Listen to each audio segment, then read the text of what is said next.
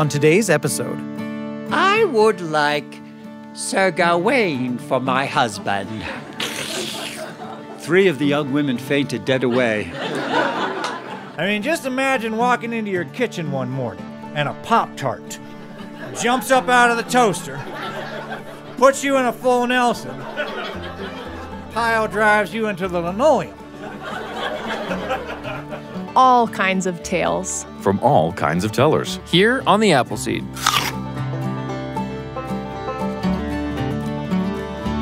It's time for the Appleseed. In each episode of the show, we bring you a couple of stories from favorite storytellers. They'll entertain you, they'll inspire you, they'll get you thinking, and they'll even help your family tell your own stories. I'm Sam Payne, your host, and our first story is from Philadelphia storyteller Ed Stivender with a tale from the legends of King Arthur, the British king who, with his Knights of the Round Table, bring to England a period of romance, chivalry, and honor. The Arthurian legends are a whole mythology of regal men and women in conflict with monsters and all kinds of medieval weirdness. And those adventures impart social values of the time to the people who heard them. And this particular story combines aspects of several stories, which was the nature of the legends themselves, kind of drawing on different sources and stories to create something fascinating and new. If you're a fan of the legends of King Arthur, this is a story for you. If you've ever tried to solve a tricky riddle, this is a story for you. And if you've ever discovered a perplexing secret, this is a story for you. Here's Ed Stivender with The Legend of Sir Gawain and Lady Ragnell, recorded live in the Appleseed Studio.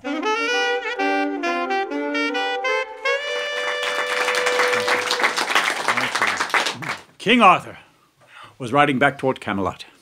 It was almost Christmas, and it was his custom at the Christmas season to meet with the knights of the Round Table, and there around that great table to tell the stories of what had happened the year before, what dragon they had slain, what Turkish knight they had vanquished, what damsel in distress they had rescued. Arthur had sent his squire on ahead to warn the castle of his homecoming. As he neared the glen by the Green Chapel, a place thought to be inhabited by demons and wizards, he heard his name called out Arthur, King of the Britons. He peered into the glen, but could see no shape of any mortal man. Again the voice ah, Arthur, King of the Britons. He dismounted, walked into the glen, and there, as his eyes became accustomed to the light, he saw a giant of a knight, clad all in green armor, from his helmet to his shoes, and in one hand the great knight held an axe, the blade of which was an ell rod long and sharp as any razor. Arthur, if thou art as brave as thy brave knights say, thou wilt stand against me in some Christmas sport. What sport is that, Sir Knight? The beheading game. One strike apiece, and you may strike the first blow. The knight handed the axe to Arthur. Then the knight knelt upon the ground, took his helmet off his head, bared his neck, and leaned over.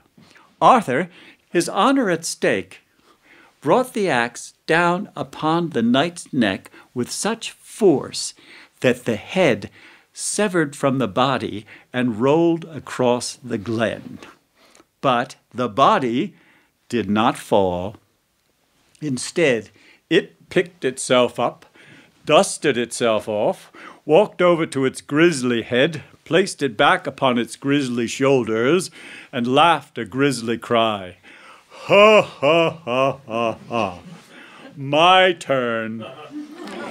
Now the knight took the axe. Arthur, his honor at stake, knelt upon the ground, took his helmet off his head, bared his neck, leaned over, and listened as the axe whistled through the air, but stopped before it touched his neck. Ha ha ha! Arthur, thou art too easy a prey. Rise, I'll give thee respite and a riddle.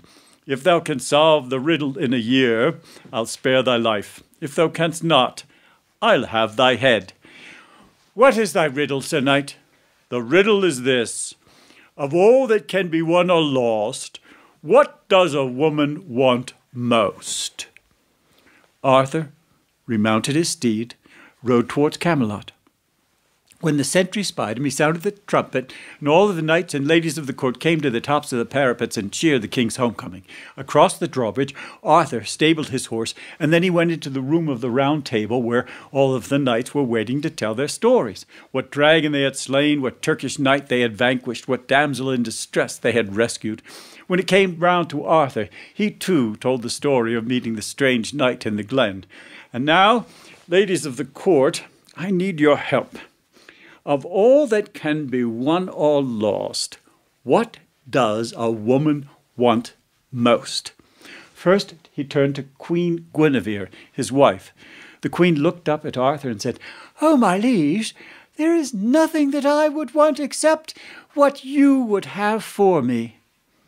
This was a very long time ago.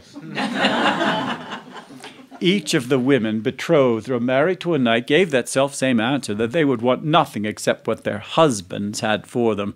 When it came to the unmarried, unattached women, they had more creative answers. Some said land, some said jewels, some said Sir Gawain. For Sir Gawain was the handsomest and noblest of all of Arthur's knights.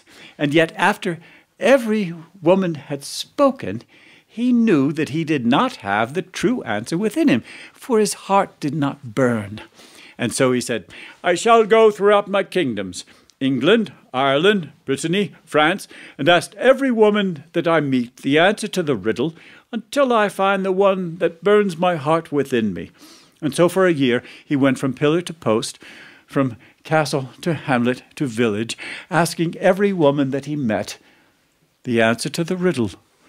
But it was a year later that he returned to the glen by the green chapel, none the wiser, for he did not have the answer that burned his heart within him. As he approached the glen, he heard his name called out uh, with a different voice Arthur, King of the Britons. He turned, and there, sitting below a tree, was the most disgusting hag he had ever seen. Her hair was all matted, and spiders ran in and out of it. Instead of teeth, she had two tusks, one that went down, one that went up.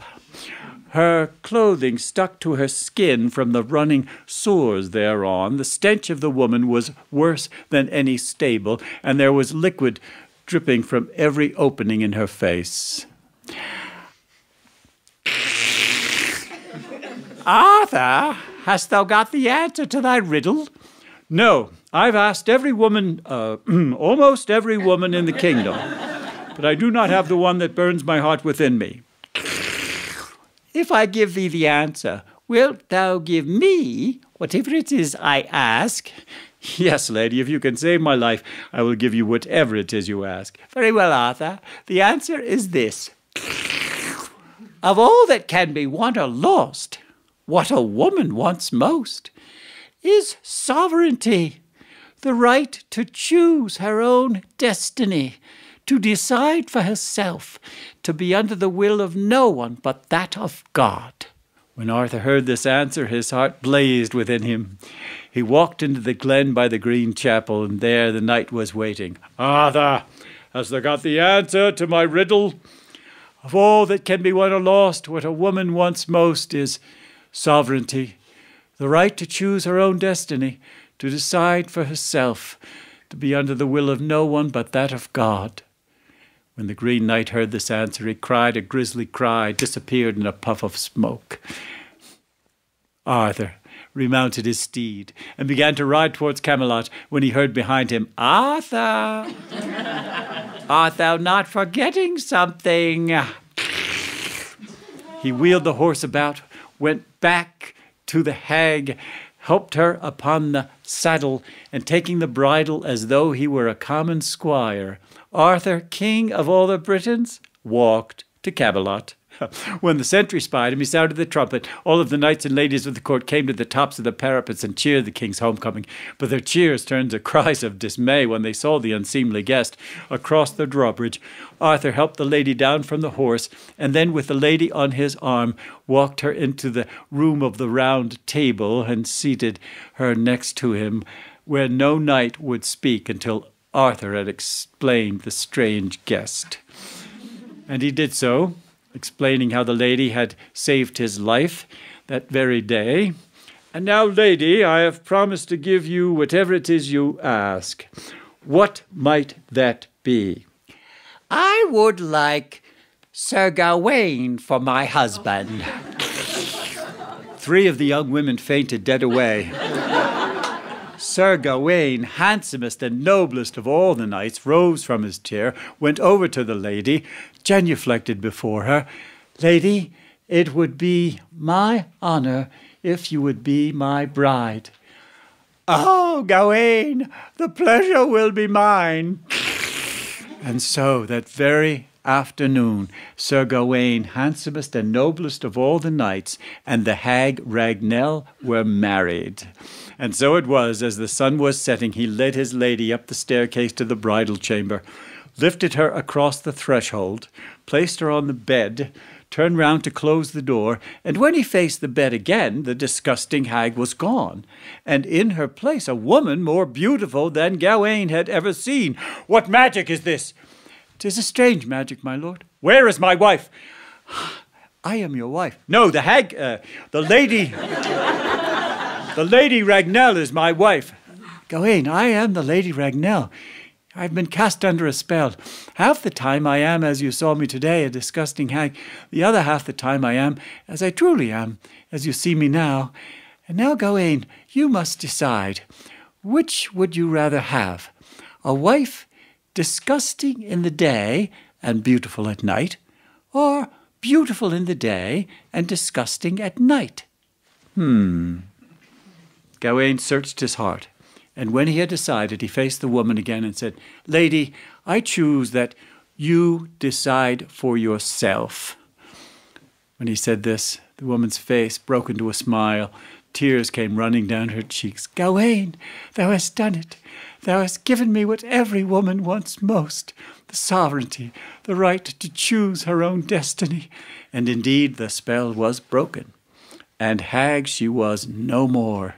And that night, the couple surrendered their sovereignty to one another. And if the English language had words to describe the joy and ecstasy of that night, the story would be much longer. but alas.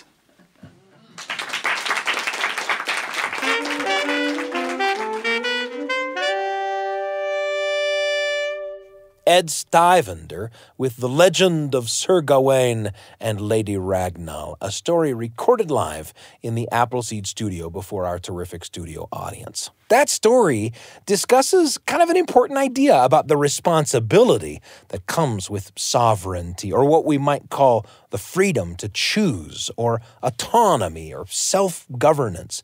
You know, once you're free to choose for yourself in big and small decisions, you find you have to be responsible for your actions. And sometimes that realization can kind of paralyze us, but that's at least partly what growing up is about. Listening to that story made me remember when I was a little kid, when we would sometimes go out for fast food. My parents always ordered for us a regular hamburger, small fries, and a small root beer. Always. Never a variation from that formula regular hamburger, small fries, and a small root beer. Then, when I was about nine, I was out of town on a trip with my dad, just him and me, and our car broke down. And while it was being fixed, we waited in a burger place across the street from the car repair place. And we sat down at a little table together. My dad wasn't hungry, but wondered if I was. And when I said I wasn't hungry, but I was thirsty, he told me I could go to the counter and order whatever I wanted total sovereignty. It was the first time I had ever ordered anything on my own. And the girl behind the counter asked what size drink I wanted, and it stopped me in my tracks. I'd never had anything but a small root beer before, and I was so flummoxed by my freedom that I couldn't decide. In fact, I said to the girl behind the counter, Um, it doesn't matter what size, whatever size you want. but no, she was going to make me decide. In fact, the place had kind of come to a standstill while I decided. And it seemed a Herculean feat, but I finally did decide on a medium lemonade. It made me realize that with sovereignty comes the responsibility to decide for yourself and to pursue what you decide. And as I learned at the fast food place when I was nine, it's not always that easy. Stories have this wonderful way of sprouting like seeds and growing as the stories bring up thoughts and memories that grow into conversations. Maybe that's why we call the show The Apple Seed. Coming up, a story from Bil Lepp, a tall tale about a West Virginia preacher in the wilds of the California forests. That's up next on The Apple Seed. I'm Sam Payne.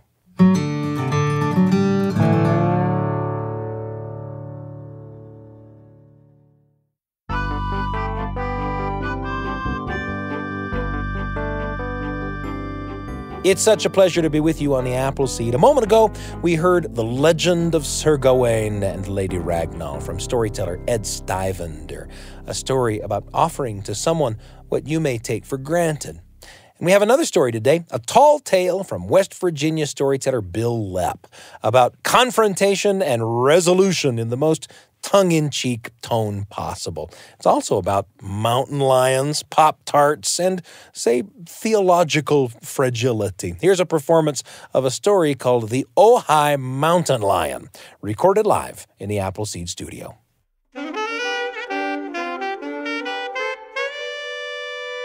I was doing a storytelling festival in Ojai, California. And Ojai, if you don't know, is about 13 miles inland from Ventura Beach, sits about 800 feet up above sea level. If you do know, don't contradict me.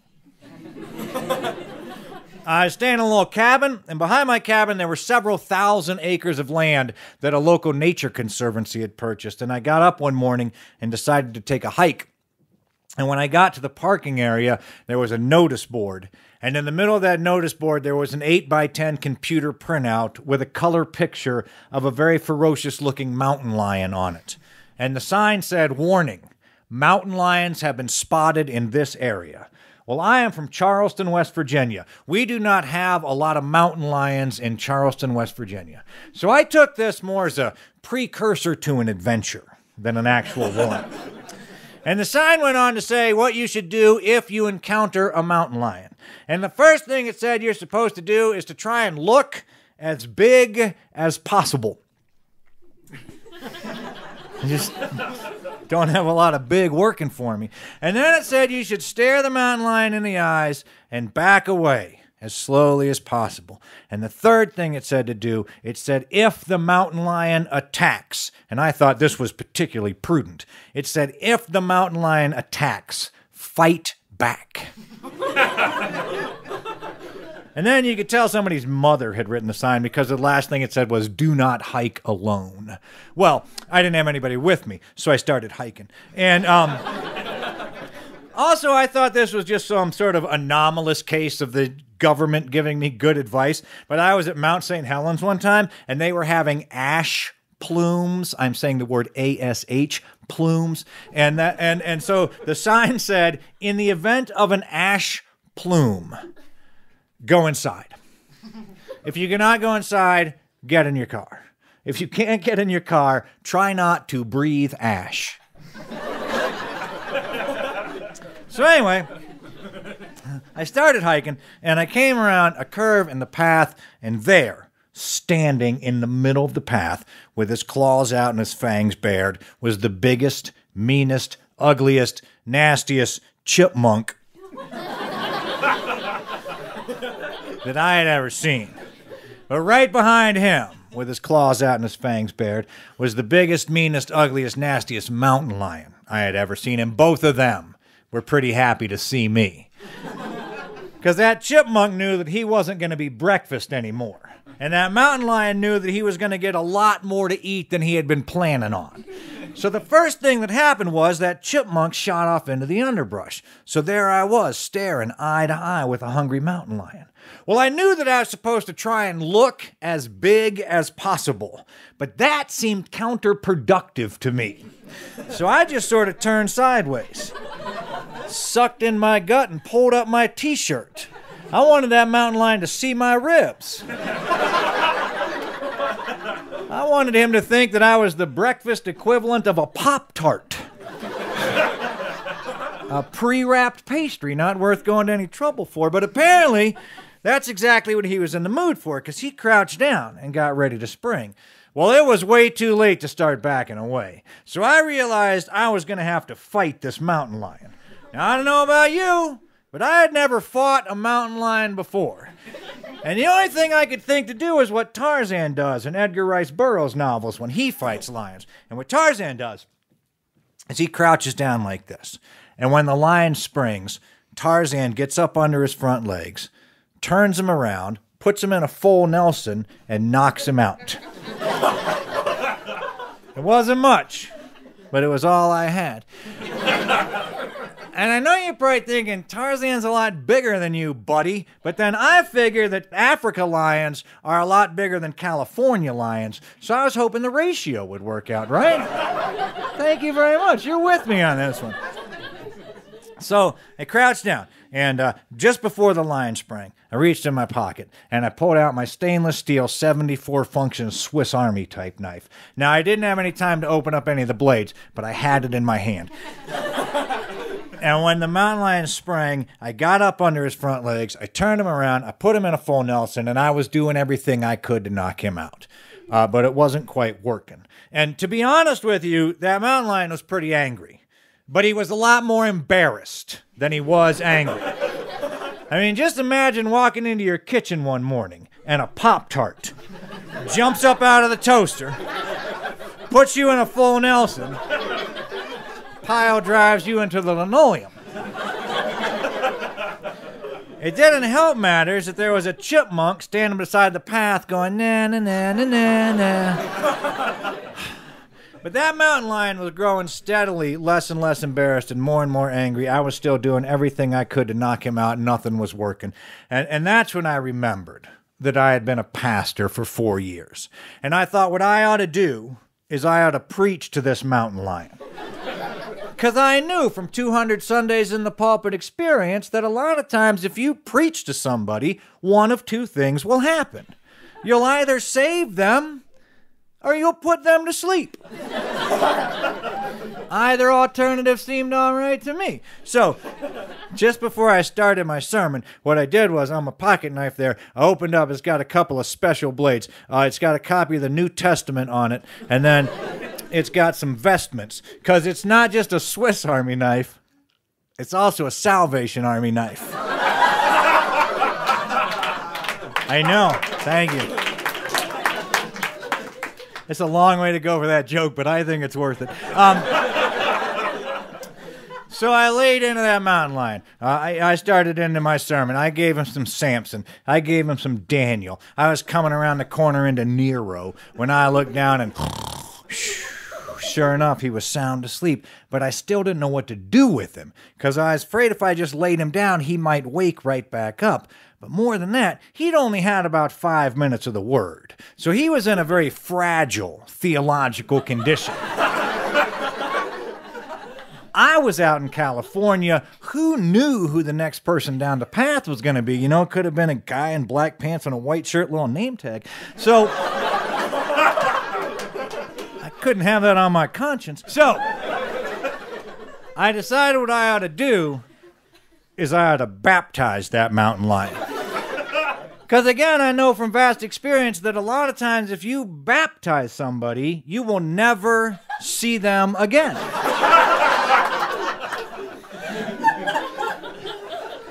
so I got him up on my hip and I started making my way down towards the edge of the Ventura River. I got right to the edge of the river, got ready to baptize that mountain lion. But that's when it occurred to me I didn't know what denomination he was. Now, I'm a Methodist, so we sprinkle. But I figure anybody that got converted as quickly as that mountain lion did almost had to be a Baptist. So that meant I was going to have to go for the full board Duncan there. And I asked I asked my dad when I was a kid how come Methodists just get sprinkled but Baptists get the full board Duncan. And dad told me that that's because Methodists just have dirty minds. but that the Baptists are dirty all over. So So I got the mountain lion up on my hip and I started making my way into the Ventura River and I said the words you're supposed to say and then boom. And when we came back up out of the water, that mountain lion was angrier than he had been all day. Didn't seem at all like someone who had just experienced the peace of Christ in his life. and that's when it occurred to me that mountain lions are cats, which means they have nine lives, which probably means that they have nine souls, which meant that I was going to have to baptize that mountain lion eight more times.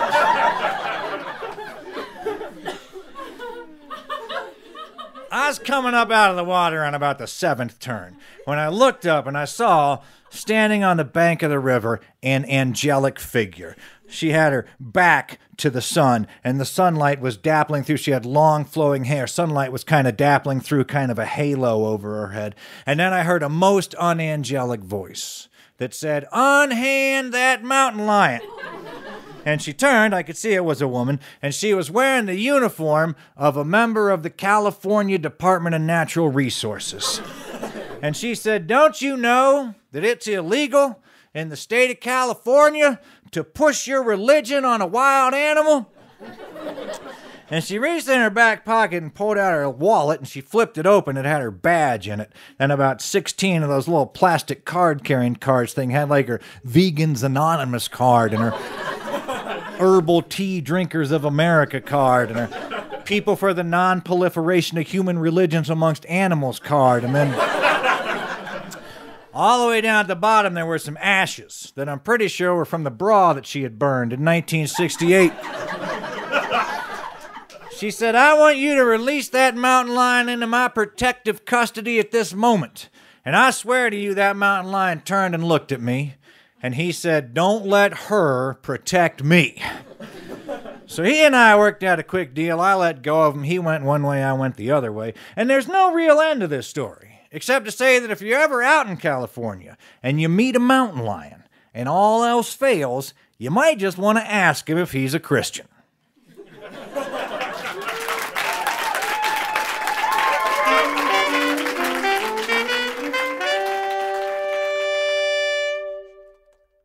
that was Bil Lepp with the Ojai Mountain Lion.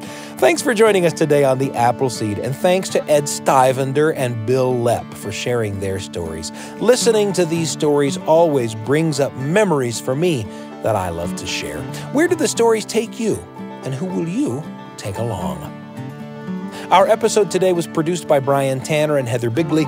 Our audio engineer is Carly Wilson. Trent Horton, Natalia Reeve, Hannah Harlan, and Evie Hendricks make up the rest of the Appleseed team. If you want to send us a note, you can email us at theappleseed at byu.edu. That's the Appleseed, all one word, at byu.edu. Or if you're listening through a podcast app, Rate us, leave us a little review. It helps people find the show. We're pleased and proud to be among the many shows in the BYU Radio family of programs. And you can find this episode or any episode from our archive on the BYU Radio app at byuradio.org slash Appleseed or by Googling the Appleseed Podcast. I'm Sam Payne, and I can't wait to be with you again on the Appleseed.